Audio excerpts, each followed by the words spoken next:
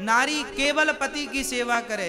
नारी ये ना सोचे कि मेरा पति कैसा है। वो अंधा है, लंगड़ा है, बहरा है अच्छा है, बुरा है, कैसा भी है। बहुत नालायक है पति। कोई बात नहीं। वो है ना, तुम तो मत बनो। आप अपनी जगह बढ़िया रहो, सुख से रहो, आनंद से रहो, आपको कोई गाली दे तो भी सुनो, कोई बात नहीं। हाँ और हमेशा पत्नी को चाहिए। अभी पतियों का भी लक्षण बताऊँगा। माताएँ सोच रही होंगी, महाराज जी, कुछ पतियों का भी बताओ। अभी बताऊँगा, पहले आपका पूरा हो जाए।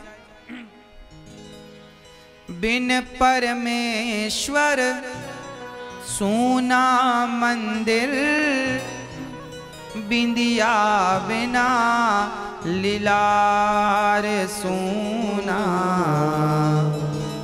पति बिना संसार।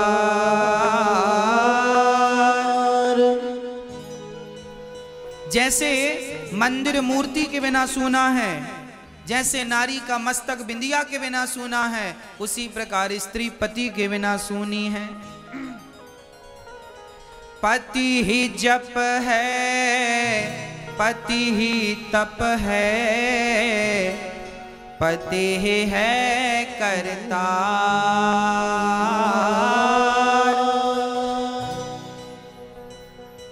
पति से ही पत इस तन की है। पति बिन विपति हज़ार सुना। पति बिना संसार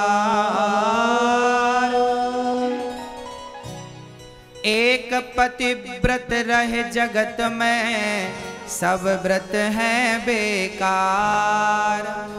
नारी का एक ही व्रत है, ना तो सोमवार का व्रत रहो, ना तो मंगलवार का, ना बुधवार का, ना गुरुवार का, ना शुक्रवार का, ना तो एकादशी, ना तो पूर्णिमा, ना तो अमावस्या।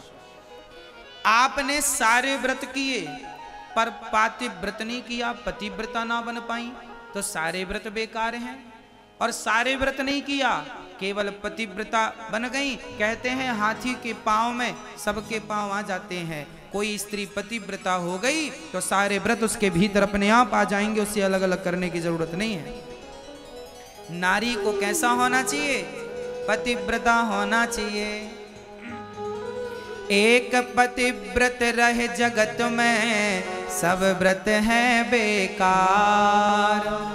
बिन पतिव्रत के नारी का तो जीवन है बेकार। सुना पति बिना संसार।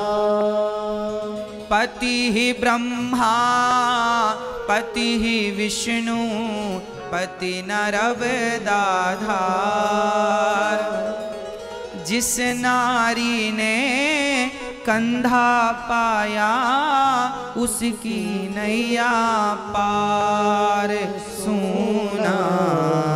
पति बिना इसलिए वो नारी सर्वश्रेष्ठ मानी जाती है, जो पतिव्रता होती है। पतिव्रता बनो।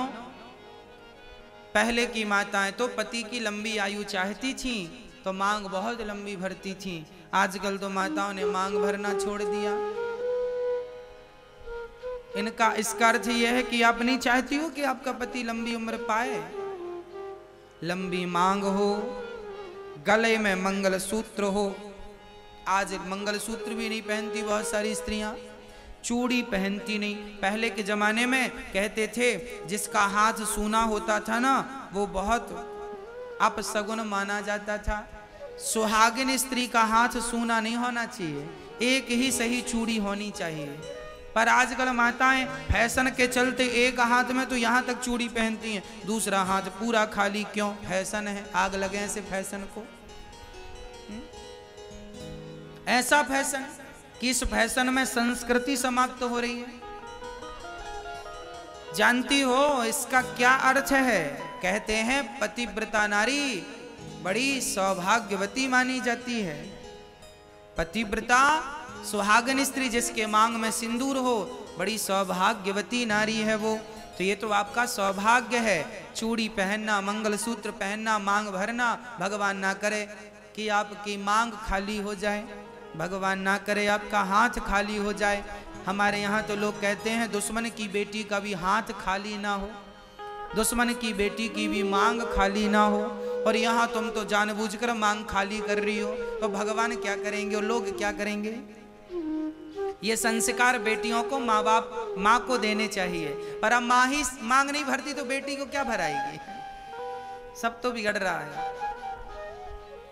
इसलिए रिश्ता, आज रिश्ते ना बहुत कच्ची डोर पर हो गए हैं। पक्के रिश्ते नहीं। हमारे जमाने में उस जमाने में, पुराने जमाने में कहते हैं, घर तो कच्चे हुआ करते थे, पर रिश्ते बहुत पक्के हुआ करते थे। अब घर सबके पक्के हैं, पर रिश्ते सबके कच्चे हैं।